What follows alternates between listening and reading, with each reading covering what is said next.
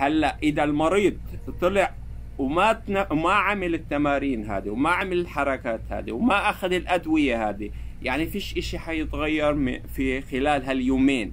فهذا بصعب ال... ال... الوضع على الأخصائي إنه يشخص ويعالج بالطريقة الصحيحه لأنه دوركم في العلاج آه، اللي هو دور كبير يعني 95% من العلاج اللي هو بيعتمد على المريض.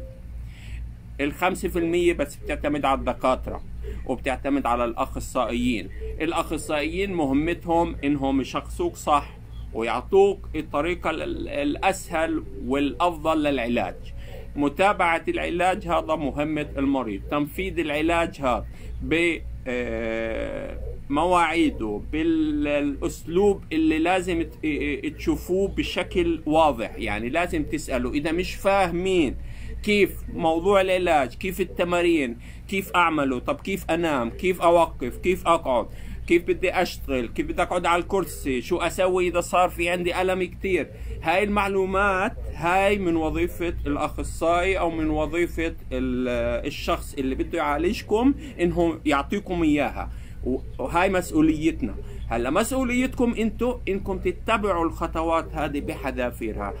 على قناعة إنه 95% من التشخيص ومن العلاج بيكون انت لأنه هذه المعلومات اللي أنا باخذها أثناء ال- ال- التشخيص آه، بالنسبة للالام بالنسبة للوضع هذا يعني بدنا معلومات دقيقة من المرضى. يعني فيش فيها إنه المريض يخبي أو يعطي أعراض تانية أو آه، يظهر له إنه يفهم السؤال بطريقة خطأ ويعطينا معلومات خاطئة. هاي الأمور بتخربط عملية الفحص والعلاج.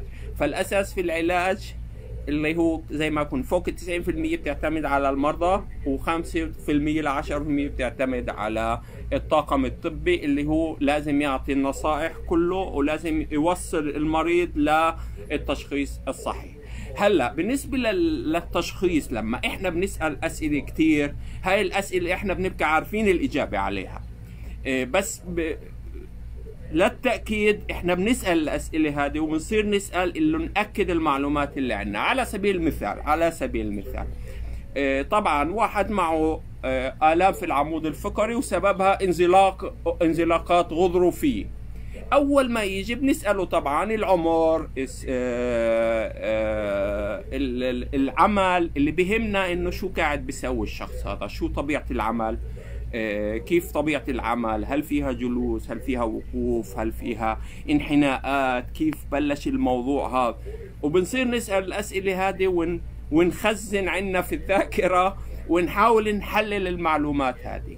هلا طبعا ال ال ال لما نسأل الأسئلة إحنا عارفين إنه واحد عنده آلام ديسك معناته لازم في يكون أعراض آلام في الظهر. آه، ممكن يكون في أعراض آلام بتنزل على الرجلين. ممكن يكون في أعراض ولازم يكون إذا الآلام بتنزل على الرجلين هي آلام متنقلة.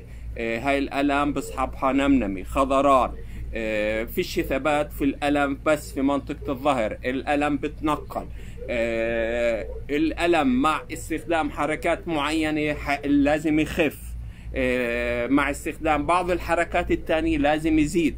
يعني هاي المعلومات كلها إحنا عارفينها وانتوا عارفينها كمان. اللي مجرب عارف المعلومات هذه كيف جسمه بغير من طبيعة الألم. هلأ إذا واحد أجا وعملنا الفحص السريري وعملنا الفحص الكذا وبظلوا يشكي من آلام في أسفل الظهر. إيش آه، بغض النظر عن حنى حاله لقدام حنى حاله لورا أثناء الفحص السريري رفع جريه نزل جريه مشى حرك دائما بعطينا نفس الأعراض.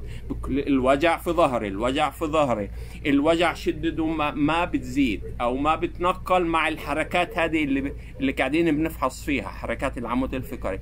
في هاي الحالة التشخيص بيروح بعيد عن موضوع إنه ديسك وانزلاقات غضروفية أو آه، شد عضل أو آه، مشاكل في المفاصل لأنه كل هذه المشاكل لازم تعطينا تغير في الأعراض. يا بزيد يا بنقص لازم تعطينا تغير في موقع ال ال ال ال ال الأعراض هذه. لازم يعطينا أعراض عصبية في بعض الأحيان إذا بنحكي عن مشكلة الديسك وممكن ومشكلة الغضاريف.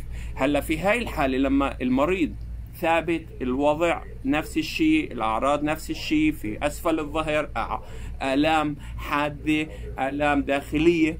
ففي هاي الحالة إحنا بنوقف وبننصح المريض في هاي الحالة إنه يتوجه لطبيب عام أو أخصائي يعمل فحوصات تانية يعمل فحوصات دم يعمل فحوصات أخرى. لأنه الشك حيكون إنه الشغلة مش عملية مشكلة في المفاصل مشكلة في العضلات مشكلة في الديسك. الشغلة ممكن تكون أكثر احتمالا لشغلات تغيرات داخلية. داخلية معناته في الأعضاء الداخلية في المعدة في الكليتين في القلب. وهذا بعطي الآلام هذه اللي هي بتظهر أكثر شيء في أسفل الظهر أسفل العمود الفقري. فهذه الأمور لازم نكون حساسين لها طبعا المريض بيروح بيراجع دكاترة تانيين بيعمل فحوصات دم كذا.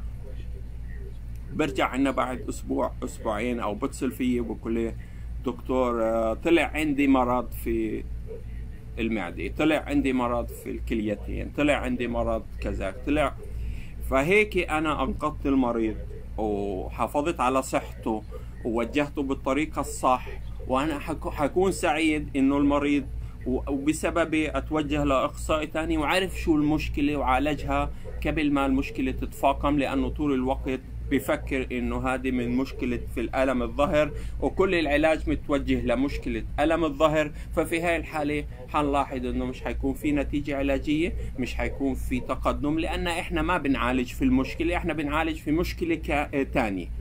ممكن يكون في عنده آلام في الظهر مشاكل تانية بس هذا ما آه، المشاكل الأساسية بتكون مشاكل في الأعضاء الداخلية. هاي النقاط اللي حبينا نوجهها ونحكي لكم عليها لأنه في صار تساؤلات كثيرة على النت.